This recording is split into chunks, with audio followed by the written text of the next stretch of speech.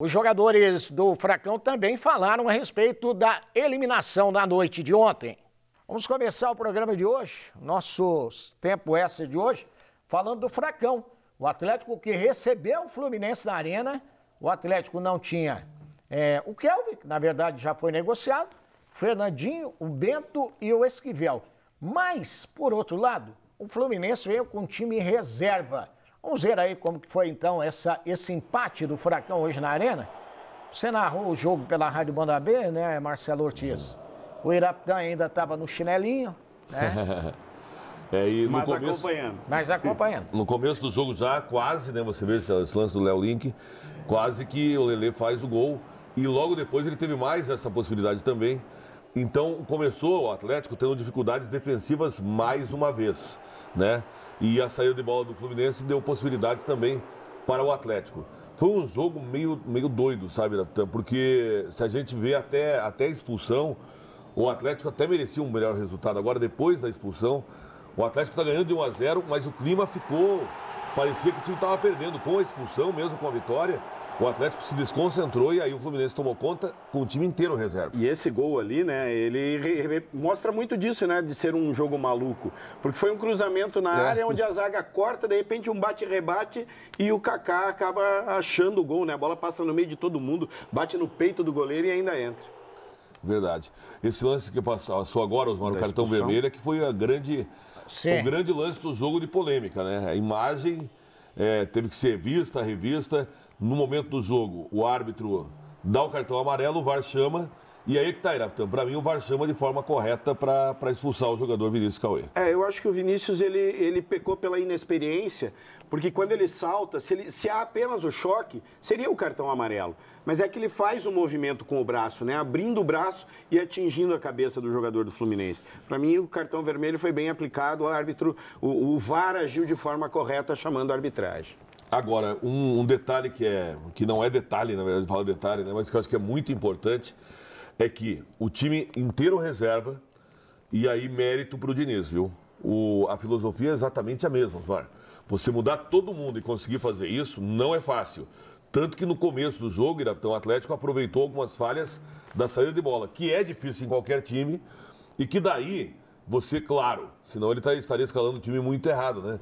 Se ele tem os reservas em campo, naturalmente não vão ter a mesma qualidade dos 11 titulares. Mas mesmo assim, foram algumas falhas, não muitas, e que foram pontuais, porque logo depois dos 15, 20 minutos do primeiro tempo, Ah. o Atlético não teve chance assim por falha defensiva. E não. já foram ali, né? Duas sequências de defesa ali. Primeira Do Léo Link, defesa sensacional do Link mandando pela linha de fundo e na cobrança do escanteio mais uma defesa. Né? Então o Léo Link foi fundamental Foi. né? para a sustentação daquele resultado naquele momento. Mesmo com o Fluminense depois virando o placar. Né? Agora, mesmo com poucas oportunidades, ó, aqui, aqui na televisão aqui, a imagem pega o Canobio já, já chegando, ele já aparece depois que o Vitor Roque chuta, né? Mas essa foi uma jogada que o Vitor Roque, como os dois marcadores vêm em cima dele, se ele toca para trás, o Canobio entrando, só que aí é o faro do artilheiro, mas ele concluiu muito mal, né? Concluiu mal, Nesse- concluiu nesse mal. lance.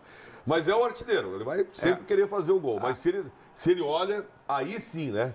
Porque o contra-ataque continua sendo mortal do Atlético. E aí, que é o ponto que o Osmar perguntou e que o torcedor, o Iraptão, o torcedor, o estádio inteiro pediu a saída do Wesley.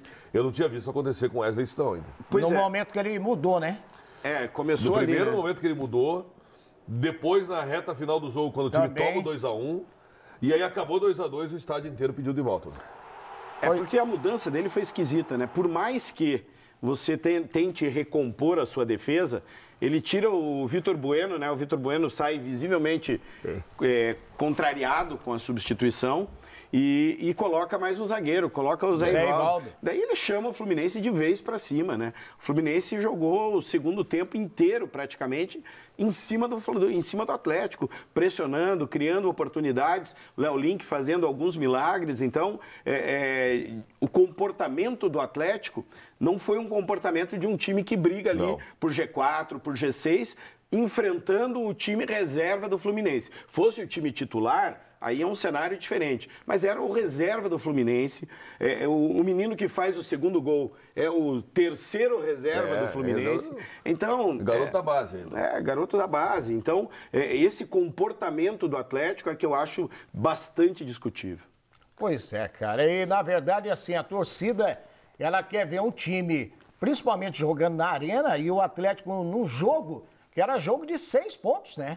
Porque se Sim, ganha do sim. Fluminense, E aí é o que o ele falou. praticamente tira um E aí, adversário. e aí o que o Natan falou, daí o time adversário re- pre- pre- prefere re- pre- preservar os jogadores titulares e preservar de verdade, viu, Osmar?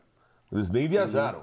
Se pegar o banco de reservas do Fluminense, o banco de reservas eram jogadores, o reserva do reservas É, o, mesmo. o- o São Paulo, por exemplo, que hoje poupou também, o São Paulo levou todo mundo. É. né? E entraram no segundo tempo, entrou Luciano, entrou Caleri, entrou todo mundo. Esse é o- Diferente do Fluminense. O Fluminense É. foi com o time reserva e com a garotada da base formando o banco. Esse, e esse é um detalhe interessante, né? O, o Fluminense, quando muda, quando o Diniz muda, e, e ele tem feito isso, ele abre mão até de defender um pouco, se arrisca e vai pra frente, ele faz isso com o time reserva e ele faz isso tendo que fazer modificações naturalmente. Quando ele faz modificações, ele coloca pelo menos três garotos e que mudam a favor do Fluminense o jogo. Então, por isso que eu vejo que tem que ter uma análise sobre o Atlético. Por exemplo, se é para marcar, é, não, não tem por que ter o Coelho. Porque o Coelho, na única vez que ele se livrou e foi para ataque, é o cruzamento que o Victor Roque faz o gol.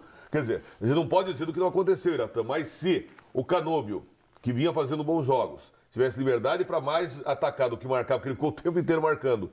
Se o Coelho, que fez a jogada do gol, se eles estão mais próximos do Vitor Roque, e se o próprio Roque tivesse liberdade para ficar do meio para frente que fosse, porque o time quando defende, todo mundo tem que marcar, é verdade. Só que se você prende o Roque no ataque, você prende dois zagueiros pelo menos.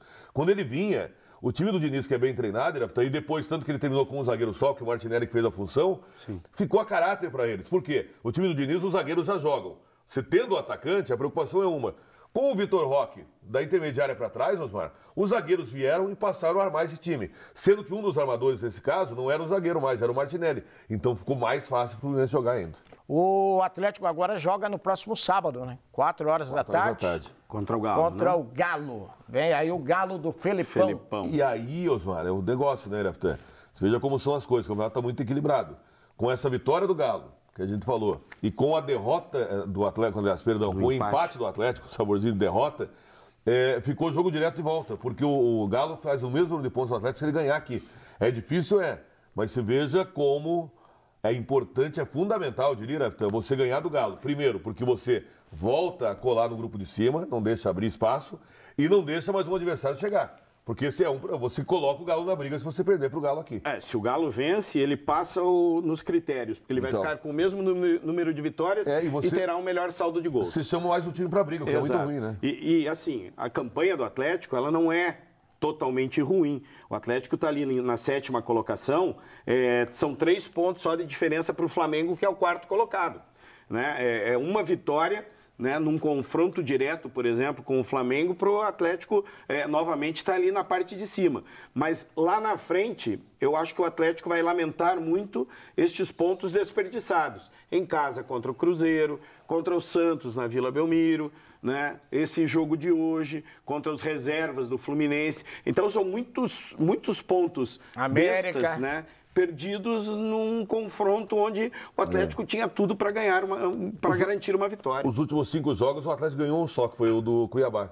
É. Os outros ele deu uma tropeçada, empata aqui, perde ali, empata. E agora só tem Então, brasileiro para o Atlético. É, né? exatamente. É, agora, até por isso a cobrança maior até mesmo da É, torcida. e eu acho que, claro, entendo o torcedor, entendo o torcedor. Não sou daqueles caras que tem que mudar toda hora o técnico, só que eu acho que é bom dar uma conversada com o Wesley, porque o DNA do Atlético é jogar, é ser um time rápido em velocidade, fazer essa transição, e não vem acontecendo, Osmar. O que está ocorrendo, por que está ocorrendo? Aí é que tá, esse é o papel da diretoria com o treinador. Não é papel da diretoria, ah, tá ruim, troca. Tá ruim, troca de volta. Não, é chamar o treinador e entender o que está acontecendo. Diagnosticar o problema, né?